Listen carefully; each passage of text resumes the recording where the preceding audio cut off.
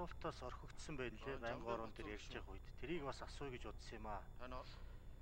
Хангуатар нэр дэвшигч бол бас үндсүүл ирэх зүгээр мэрэгсэн хүн. Унаадаа одоо сүүлийн үеийн залуучууд дотроос бол гадаадад бол нэлээд олон газар бас зочин судлаачаар эдгээр ажиллаж гисэн. Онл практ онлын бөгөөд бас практикийн мэдлэг бол эзэмсэн.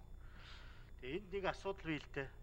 Би бас сонирхож байгаа юм нь бол манай үндсүүлийн цэц одоо үндсүүлийн шүүх гэдэг тэр утгаар ойлгох нь зүйтэй гэж аа үздэггүй. Ер нь л ихэнх шүүх гэдэг.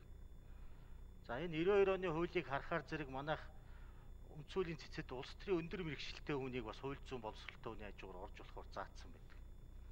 Энийг ингээ хараад өөрийнхөө хэмжээнд харахаар Францын үндсүүлийн зөвлөлд бол ерөнхийлөгч нар нь ерөнхийлөгч нар нь хүсвэл ажилласаа буусныхаа дараа насан турших уу үндсүүлийнхээ зөвлөлд орж ажил болдог. Тухайн үед бол 92 онд бодвол одоо үндсүүлийг хийхдээ одоо ерөнхийлөгч байсан хүн гэдэг юм уу улсын хурлд байгаа үндсүүлийг баталсан хүмүүс бас энэ цэцэд бас орох нь зүйтэй гэж үзэл ийм гаргалгаа хийсэн байх л та. Хэрвээ үндсүүлийг шүүх гэж ойлгох юм бол цаашдаа нь улс төрийн өндөр мэрэгчлэлтэй хүмүүс гэдгээ болох хэрэгтэй юм шүү. Эсвэл Франц маягийн одоо ингээд улс төрийн өндөр мэрэгчлэлтэй хүнийг гэж үзэх юм бол ерөнхийлөгчээр юм уу ерөнхий сайдаар ажиллаж исэн гэдэг улсын хурлд ажиллаж исэн гэдэг юм нэг тийм төвшний хүрээнд асуудлыг авч үзэх шаардлагатай тоддох шаардлага байгаа юм биш үү гэж боддог байхгүй. Тэгэхгүй болохоор ч одоо манай зарим улсууд бол би тэр юмны намын дарга хийжсэн учраас улс төрийн өндөр мэрэгчлэлтэй гэдэг шүү дээ. Одоо тийм тайлбар хийсэн явдал чи энэ дотор бий. Энийг одоо ер нь та хэрхэн үздэг вэ? Ер нь үндсэн хуульд байгаа тэр улс төрийн өндөр мэрэгчлэлтэй гэдгийг харин хасах хэрэгтэй юм шүү. Хасахгүй юм бол харин тэр одоо ерөнхийлөгчөөр ажиллаж исэн гэдэг юм уу? Эсвэл тодорхой категори үрийг заах юм уу? Францууд бол яг л тийм байгаа шүү дээ одоо зарим ерөнхийлөгч нар ч юм бол үндсүүлийн зөвлөлтөд орцсон байдаг шүү дээ. Тэгээ цаад утгаараа бол үндсүүлээ хамгаалгаас гадна тэр төрийн дээд албан тушаалтан бол бас а одоо элдв улс төрчөөд гүгээд байхгүй бусад баталгааг нь бас хангадаг ийм юм онцлог байх шиг байна. А тэгэхгүй бол Герман Австри шиг зарчим руу орно гэвэл энэ хуулийнхаа чиглэлээр ажиллаж исэн одоо олон жил ажилласан хүмүүсээс байх ёстой шүү дээ.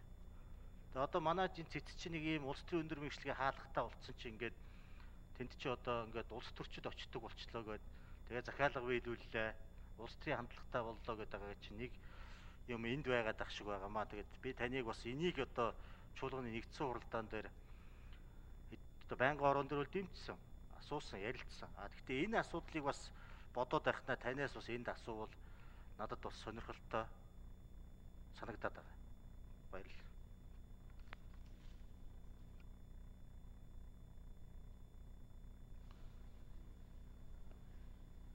За 88 нэр дэвшигч Гангабаатар. Скотрик шинэ асуултанд хариулъя. За таны хэлсэнчлэн үндсэн хуулийн цэцгийн гишүүнээр хууль зүйн улс төрийн өндөр мэрэгчлэлтэй гэсэн заалт үндсэн хуулийн 65-д байсан. За энийг үе үеийн улсын хурал тухайн үеийнхээ гишүүдийн ихтгэл үнэмшлэр тайлбарлаж явж ирсэн.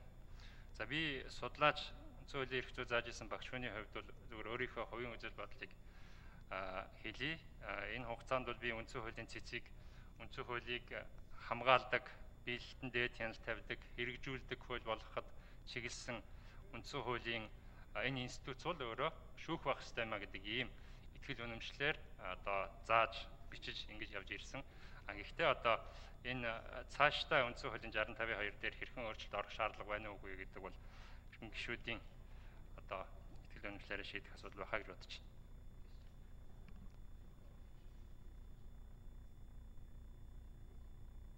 А лавгийн мөнх Батар гişүү.